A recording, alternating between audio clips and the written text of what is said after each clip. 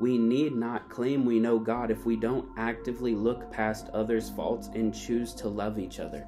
See, the true love of God, it can look past other people's faults and call them deeper, call them to repentance, but you're gentle about it. You want to see people restored from a life of sin to truly follow Christ. That the, the Bible says in the book of First Peter that love covers a multitude of sins. And the scripture tells us that when we're truly walking in the love of Christ, there should be a brotherly affection that comes with it.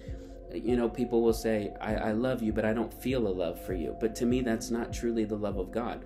God loves us, He feels a love for us, and when we're filled with the love of Christ, we'll have compassion for others who are caught up in the snare of Satan, and we'll call them out of it and help them walk on the right path.